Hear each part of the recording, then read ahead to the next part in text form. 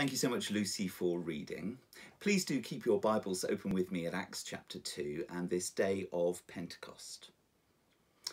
Now, crowds are one thing that we are avoiding at the moment. From tomorrow, we will be able to meet with groups of up to six people, but we must keep our two metre distance and only do this outdoors. But we've been avoiding crowds, haven't we? When we go to the supermarkets, they put lines on the floor for us to make sure that we're keeping apart from one another. If you go down to the co-op in the village, it's only two people at a time to avoid big crowds. So to read of these crowds on that first day of Pentecost in a packed city feels a long way from our experience at the moment. As perhaps does the content of what happened. It was unusual, it was extraordinary, and it was for the people back then. That's why we heard the crowd asking three very pertinent questions. Three questions that are really helpful for us if you're a Christian or if you're just investigating the Christian faith. They are three questions that we're going to look at and answer this morning. The first question is how? How is this happening? It's there in verse 8. They ask the question how is it that each of us hears them in his own native language? The second question was, what does it mean? Verse 12, they were amazed and perplexed. They asked one another, what does this mean? And the third question was, what shall we do? By verse 37, they were cut to the heart, and they said to Peter and the other apostles, Brothers, what shall we do? So, three questions. How is this happening? What does it mean? What shall we do? We're going to look at each of those in turn this morning to find out what Pentecost is all about. So turn with me in your Bibles then to Acts and chapter 2. You'll see uh, Acts chapter 1 beside you. Uh, it started with Jesus telling his disciples to stay in Jerusalem and to wait for the gift that his Father had promised. He said to them, You'll receive power when the Holy Spirit comes on you. You'll be my witnesses in Jerusalem, Judea and Samaria, and to the ends of the earth. And so that's what the disciples did. They stayed in Jerusalem and they waited. And then in Acts chapter 2, as it begins, we read these words When the day of Pentecost came, they were all together in one place. Now, Pentecost was a harvest festival for Israel. It was to be celebrated 50 days after Passover. In fact, part of the word Pentecost means 50. 50 days after Passover, celebrate this harvest festival. And it was expressing thanks to God for the first fruits of the harvest. Sometimes the festival is known as the Festival of Weeks or of First Fruits, giving thanks to God for his goodness to them. Then listen to what happened on that day, verse 2. Suddenly, a sound like the blowing of a violent wind came from heaven and filled the whole house where they were sitting. They saw what seemed to be tongues of fire that separated and came to rest on each of them. Suddenly, says Luke, a great event took place, and he gives eyewitness evidence of what people saw and what they heard. They heard a noise that was a bit like a wind. They saw what seemed to be tongues of fire. They heard people speaking in other languages. What we have here is Jesus' promise being fulfilled. He said he would send the Spirit, and now the Spirit has come. Understandably, therefore, we read in the passage that the people were, verse 6, bewildered, verse 7, utterly amazed, verse 12, perplexed. So they ask this question in verse 8 How is it that each of us hears them in his own native language? Well, you would ask that question, wouldn't you? It would be strange if you didn't. Luke tells us there was an international crowd gathered there. In verse 5, he says, Now there were staying in Jerusalem God fearing Jews from every nation under heaven. And then in verses 9 through to 11, he mentions four groups of people, which roughly goes from east to north, from south to west. They were all those obscure names that Lucy did very well in reading. The first five were from the east, the second five are from the north in the area around Turkey, The next two come from the south, a bit more familiar names, places like Egypt and Libya. And then the last two come from the west, Rome and Crete.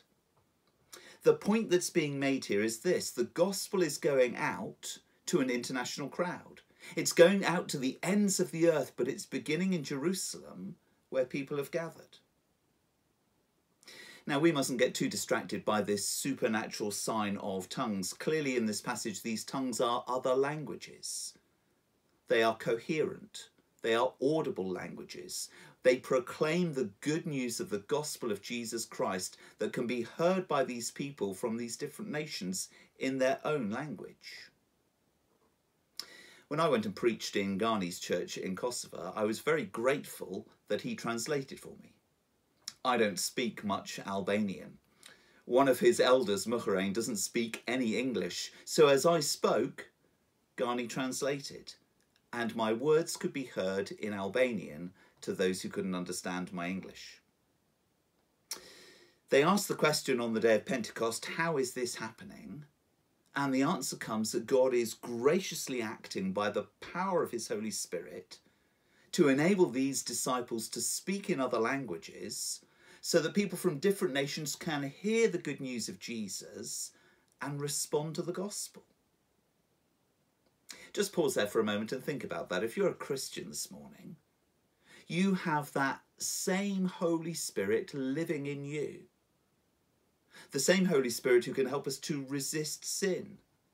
The same Holy Spirit who can help us to witness to our friends and our family. The same Holy Spirit who can comfort us to help us to know God's presence with us always. It's really powerful that we know that and understand that this morning as Christian believers. We have that same powerful Holy Spirit dwelling in us. And as we spend time in lockdown and we ask ourselves the questions where am I going to get the strength for today? Where am I going to find comfort and peace and assurance? How am I going to tell of the wonder of God? we must know and believe that we have God's Spirit dwelling in us. How is this happening? God's Holy Spirit has come, just as Jesus promised.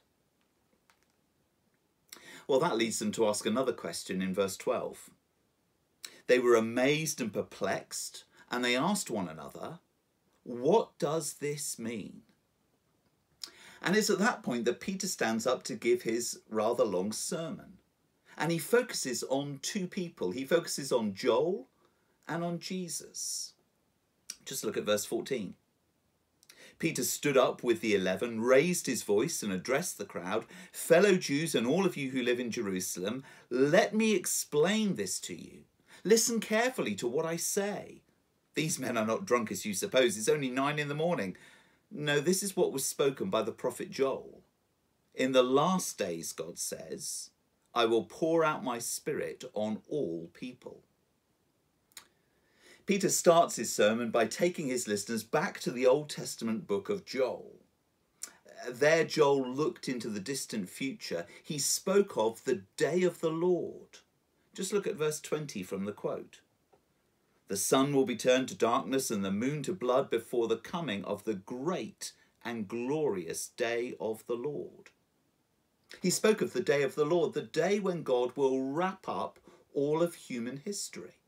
A judgment day, if you like, a day to sort everything out, to welcome those who trust in Him, to deal with those who've rejected Him. And the days leading up to the great and glorious days of the Lord are called the last days. Look again at verse 17. In these last days, God says, I will pour out my spirit on all people. The last days is the Bible's way of speaking about the time between Jesus' first coming and his second coming. Between the time that Jesus came and he's just been resurrected and ascended into heaven and the day he will return. These days are the last days.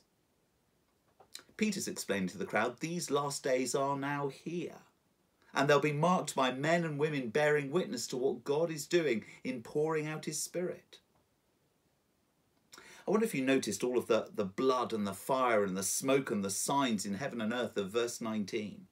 It sounded like everything was falling apart, didn't it? And I think that's the idea. Peter says, Look, we're in the last days now. The clock is ticking. The world as it is has a limited lifespan, and one day Jesus is coming back. It'll be the day of the Lord that we must look out for. Now, talk of last days and the day of the Lord might seem a, a little bit far off for us, a, a bit of way out rhetoric. But a worldwide pandemic does make us think about our own mortality. It does make us think about those bigger questions of life and death and eternity and our own standing before God. Well, the conclusion of the quote from Joel in verse 21 says that everyone who calls on the name of the Lord will be saved. And we need the hope of verse 21, don't we? We need to know in the last days, before that great day, that we can call on the name of the Lord. We need that hope of being able to tell others, you too can call on the name of the Lord. Do you see Peter's first part of the answer to what does this mean? He says God is keeping his promises. It's the beginning of the last days. God has poured out his spirit on his people, giving an opportunity for everyone to call on his name and be saved. This morning, that would include you as you watch this or listen to this, that message comes down throughout history to you this morning. You too can call on the name of the Lord and be saved. Well, having looked back to Joel, Peter now looks back to Jesus. And in verse 22, he says this Men of Israel, listen to this Jesus of Nazareth was a man accredited by God to you by miracles, wonders, and signs which God did among you through him, as you yourselves know. This man was handed over to you by God's set purpose and foreknowledge, and you, with the help of wicked men, put him to death by nailing him to the cross. But God raised him from the dead, freeing him from the agony of death, because it was impossible for death to keep its hold on him. Peter neatly summarizes three aspects of Jesus' life, death, and resurrection that would have been familiar to his hearers. In verse 22, he speaks of Jesus' life and teaching. In verse 23, his death upon the cross. And in verse 24, his resurrection from the dead. And to each of those three aspects of, of Jesus' life, Peter makes clear the link that God is at work. In Jesus' life and teaching, he is accredited by God in his death on the cross is by God's set purpose and foreknowledge. His resurrection from the dead is accomplished by God. In answer to the question, what does this mean? Peter says, by looking at Jesus, God is clearly in control. He's been powerfully at work in these last days before your very eyes, and he is at work to save people right now through the Lord Jesus Christ. Well, having spoken of the resurrection of Jesus, Peter feels the need to explain two further points about Jesus that are summarized in verse 36. Therefore, let all Israel be assured of this God has made this Jesus, whom you crucified, both Lord and Christ. Jesus is the Christ and Jesus is the Lord. And that's really what's going on from verse 25 through to verse 36. Peter quotes from two Psalms of King David, and we won't go into all of the details, but I'll try and summarize them briefly this morning. Peter quotes the words of David from Psalm 16, first of all. In that, uh, David is either talking about himself or someone else. Peter's point is that David is dead, Jesus has been raised, Jesus is the Christ, Jesus is the Messiah, God's promised king. Peter then goes on to quote from Psalm 110, which was actually a verse Jesus himself had used to help people to try and understand who he was. Again, we won't go into all the details, but it's all about Jesus' identity. Who is the Lord? Peter's answer is that Jesus has been exalted. Jesus now shares the Father's throne. Jesus is Lord. So, to summarise quite a lot in, in a very short space of time, those two Psalms say two things. The Messiah or the Christ will be raised. Jesus has been raised. He is the Messiah. There will be another Lord. Jesus is Lord. So Peter's sermon is trying to answer the question that they've asked what does this mean? And his answer comes by looking at these two people, Joel and Jesus. God is keeping his promises just as he said he would. God is accomplishing his purposes through his Son, Jesus Christ. This is good news for them on the day of Pentecost. It is great news. It is the best news. But, but there's a problem. Look at verse 36 again. Therefore, let all Israel be assured of this God has made this Jesus both Lord and Christ. But do you notice the bit in the middle? God has made this Jesus, whom you crucified, both Lord and Christ. It's good news, but they are directly responsible for the death of God's Son, Jesus Christ. Well, that leads them to ask that third and final question What shall we do? Verse 37 When the people heard this, they were cut to the heart and said to Peter and the other apostles, Brothers, what shall we do? Well, wonderfully, the answer to that question is tied up with the quote from Joel in verse 21. They are to call on the name of the Lord. They are to run to Jesus. In the light of the bad news of what they've done to him, they see the grace of God by repenting and running towards Jesus in faith. And that's the right response to the message. Look at verse 38. Peter replied, Repent and be baptized, every one of you, in the name of Jesus Christ, for the forgiveness of your sins, and you will receive the gift of the Holy Spirit. The right response to Peter's message, the right response to Jesus Christ, is to repent of your sin and put your faith in Jesus. And that outward sign of that faith would be baptism. That's why he says, Repent and be baptized. The bad news is they were responsible for the death of God's King, Jesus Christ. The good news is, is that full forgiveness is available. So, what should they do? They should repent and be baptized, and as they do so, they would receive forgiveness and the gift of the promised Holy Spirit. What shall we do this morning? What shall we do as we hear this message of Pentecost? Well, we need to do exactly the same thing. We need to repent of our sin. And maybe for you this morning, that means acknowledging that you're a sinner. The Bible tells us that we've all sinned. You've sinned, I've sinned, we've all sinned, and we need to acknowledge that sin and repent of it. That means we need to turn around from our sin, turn away from it, and turn to Jesus Christ. And as we turn to Him in faith, trusting in His work upon the cross, that He died for our sin, then we're assured the forgiveness of our sins, which means everlasting life with God. And God has given us His Holy Spirit as a deposit guaranteeing that inheritance.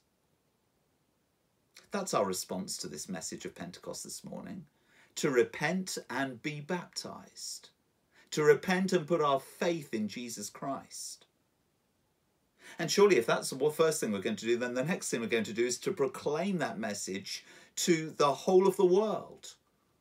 Now, at the moment, that's a bit more difficult, isn't it, as we're in lockdown together, but we can proclaim it to those who we speak to. Maybe those who we speak to on the phone or over the garden fence. Maybe in that gathering of six people in your garden, two metres apart we can speak of the goodness and grace of God to us and what it means for everyone to repent and to believe in Jesus. The result on that day of Pentecost was a, a radical growth of the church. 3,000 were added to their number that day and were baptized. The church grew by 3,000 as people heard and responded to the good news of Jesus. You see, the day of Pentecost was a phenomenal day. Jesus kept his promise to send the Holy Spirit. Through Jesus' death and resurrection from the dead, he was able to offer forgiveness and the gift of the Holy Spirit. On that day, God was powerfully at work. Doesn't that leave you longing to see that here in our day? Doesn't it leave you coming to your knees to God in prayer, praying, Lord, do the same in our day, we ask, in Jesus' name. Well, we're going to sing together the song, Christ is risen, he is risen indeed. It's a song that speaks of the disciples who boldly proclaimed the, the gospel of truth, the power of God's grace. It causes us to sing hallelujah because Christ is risen.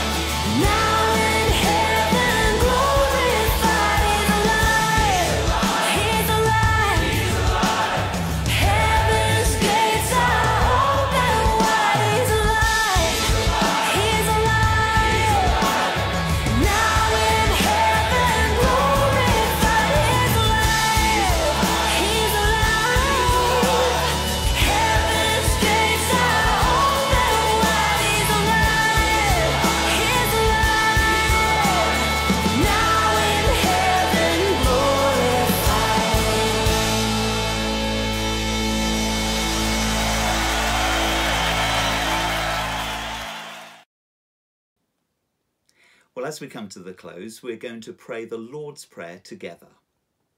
We're going to do so this morning by using a video that's been produced by LICC. It's a video of different people working on their front lines saying the Lord's Prayer. So as the video plays, let's say the Lord's Prayer along with them. Our Father, in heaven, hallowed be your name. Your kingdom come. Your will be done. On earth as it is in heaven. Give us this day our daily bread. And forgive us our sins, as we forgive those who sin against us. Lead us not into temptation, but deliver us from evil. For the kingdom, the power, and the glory are yours, now and forever. Amen. Amen. Amen. Amen. Amen. Amen. Amen. Amen.